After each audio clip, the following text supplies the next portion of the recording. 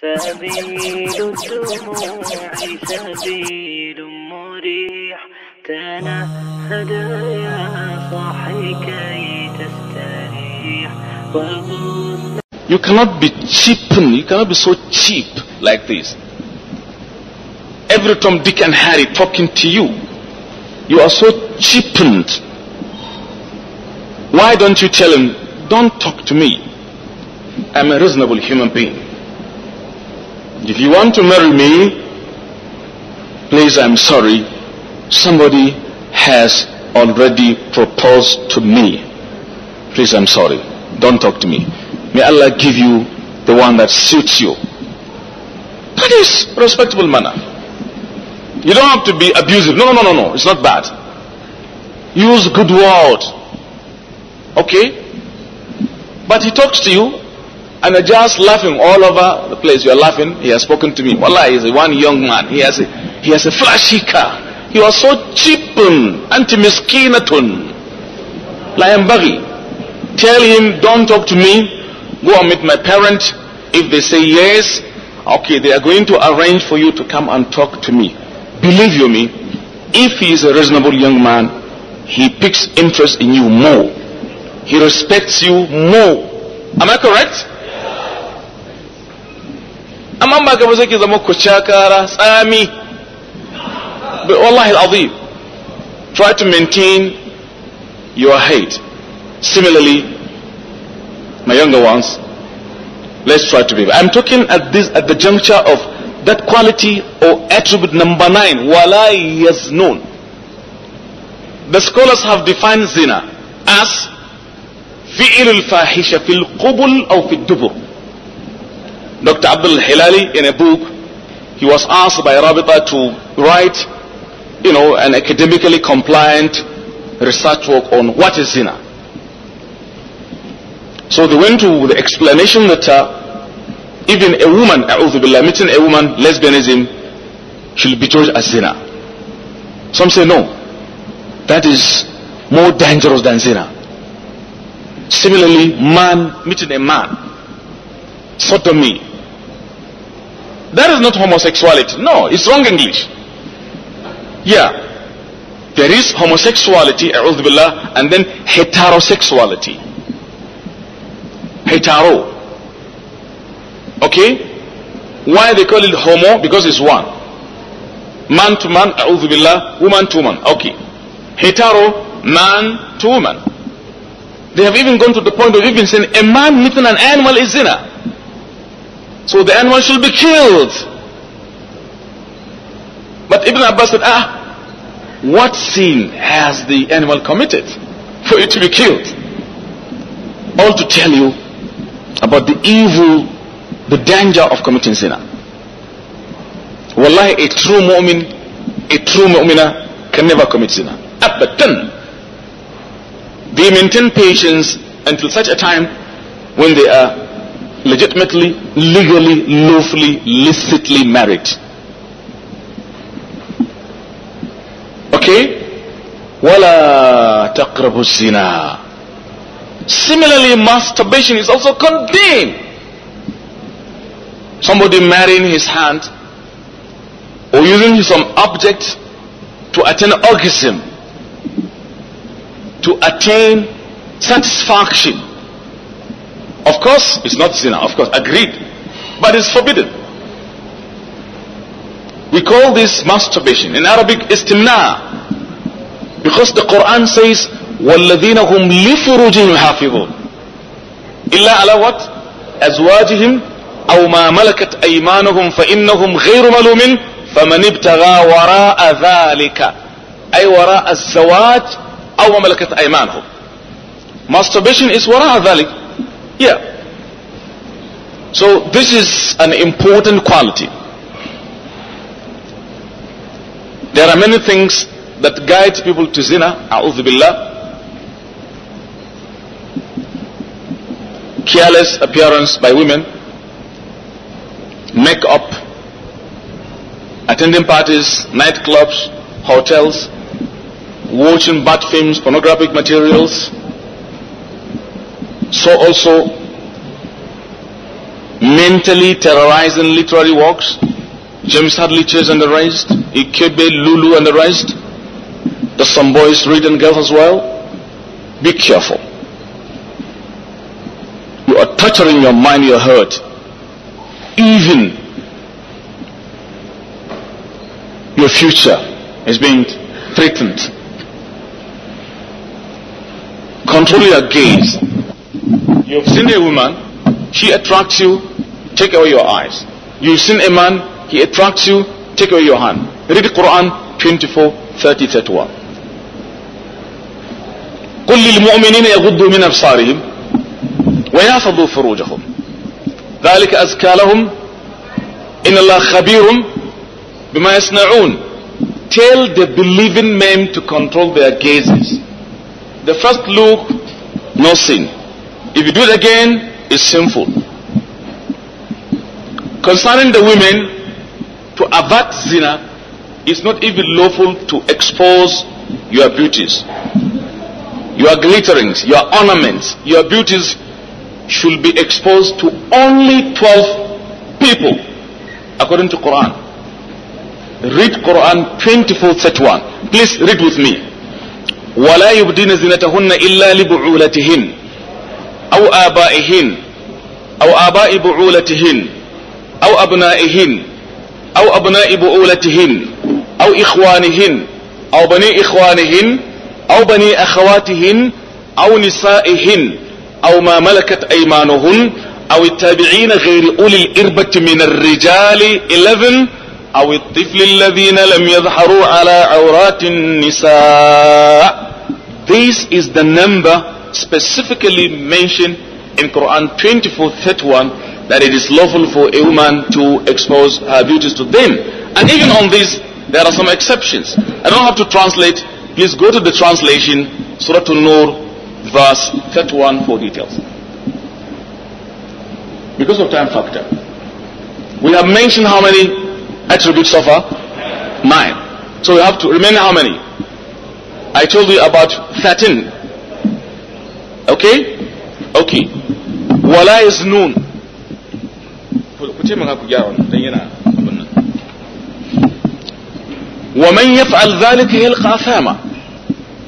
He who does it yalqa athama will meet punishment from Allah.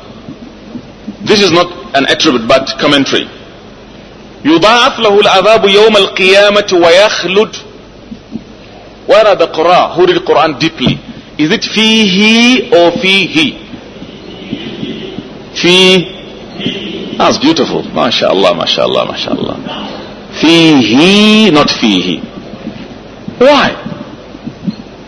Why fihi and not fihi? And this is the only place in the Quran, according to the riwayah of Imam Hafs, where he has al-maddul qasir fi ha'is sakta. Just like Ibn Kathir al-Makki, وَيَخْلُدُ فِيهِ muhanna. In all this place. Imam Hafs. But Imam Warsh, Uthman ibn Sa'id al-Masri says, fihi, just fihi.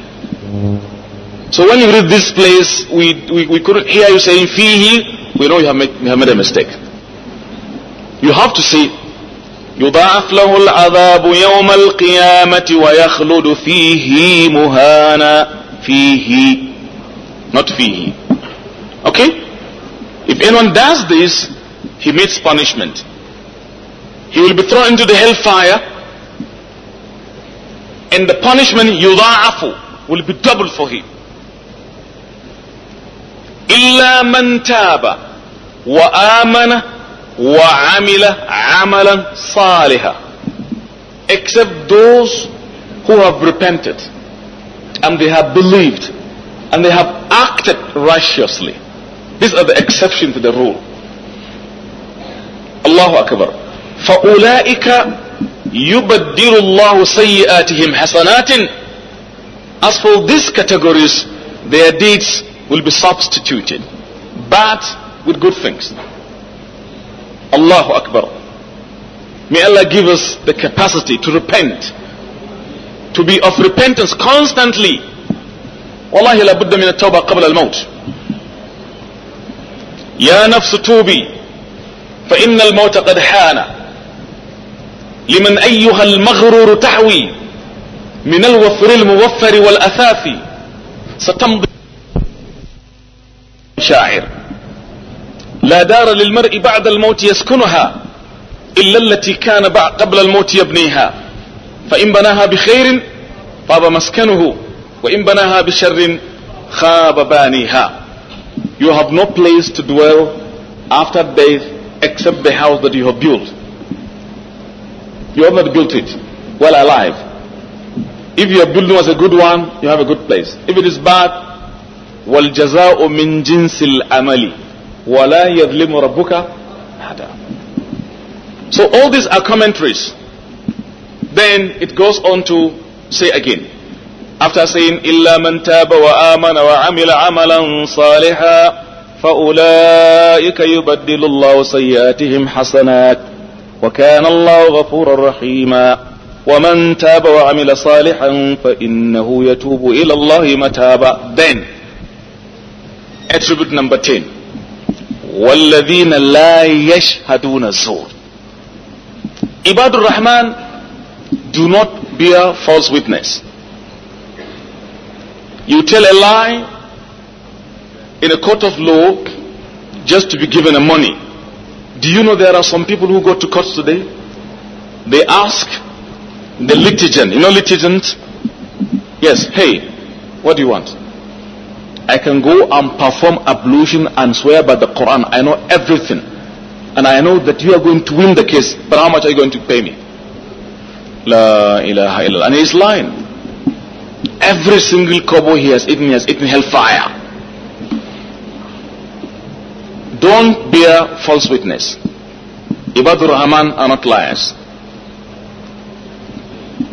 وإذا مروا باللغو مروا كراما attribute number 11 when they pass by frivolities maru kirama they pass by dignified not clear in this ayah two attributes they don't bear false witnesses and when they pass by the people doing, playing, wasting their times, watching bad films, okay, arguing, character, assassinating people, you know, lying, rumor mongering, defamation, and the like, they passed by with dignity. That is maru kiram. Let me ask you, if a World Cup match is being played today, a World Cup match being played today. Do people pay attention to it? Do they? That's good. When the prayer is being called, do they usually leave their TV set to go and pray or they maintain their TV set because they don't want the match to pass them? Some leave it. Some you cannot make a categorical generalization. Let me ask you another question. This is a goalkeeper in a football match, and the opposite camp approached his camp wanting to score, and the goalkeeper was ready.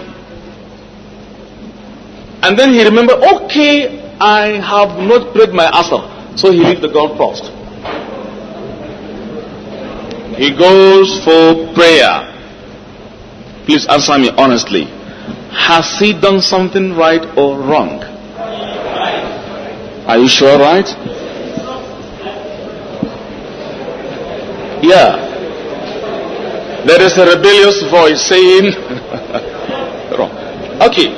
Those of you saying he has done something right can you justify your answer? Yes, brother.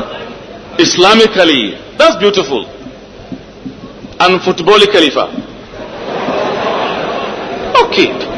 He said Islamically it's, it's okay. Yes, because we are Muslims. Let's face the reality. To me, he is wrong. To me. You ask me why, and I will answer you. First, what took him there? Ko ba ai da muguwar rawa to shi ya tashi din What took him there first? Number two, by leaving the goalpost at that critical moment can cost him his life. Believe you me. Some can kill him easily. So he is wrong to jeopardize his life. The mistake has been committed already by him. He shouldn't commit the second mistake of allowing himself to be taken away.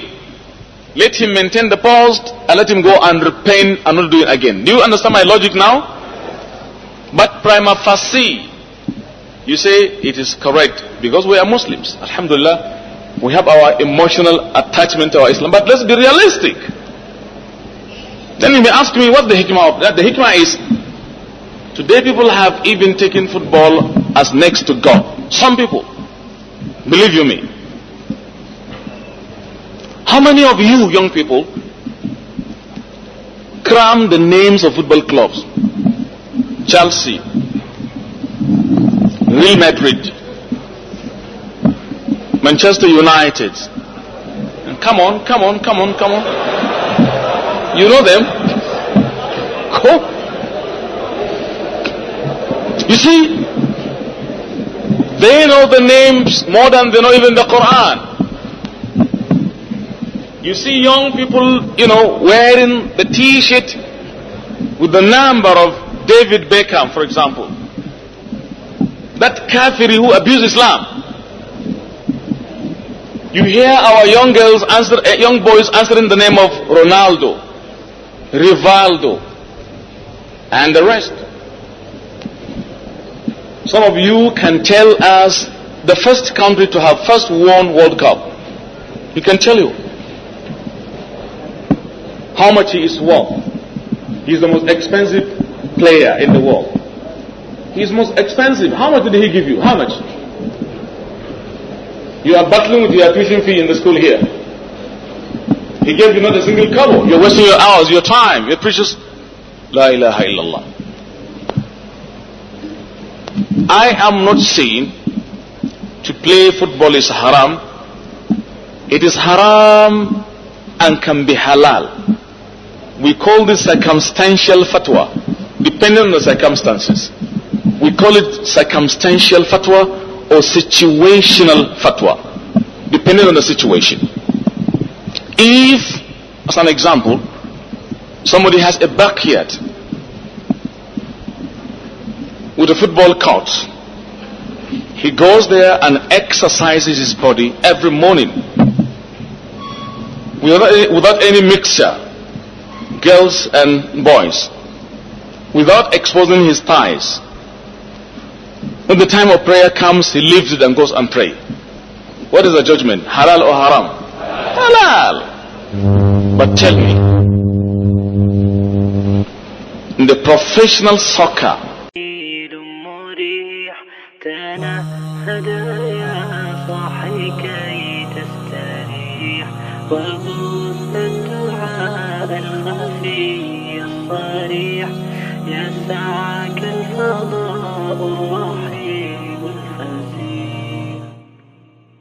سبيل الدموع سبيل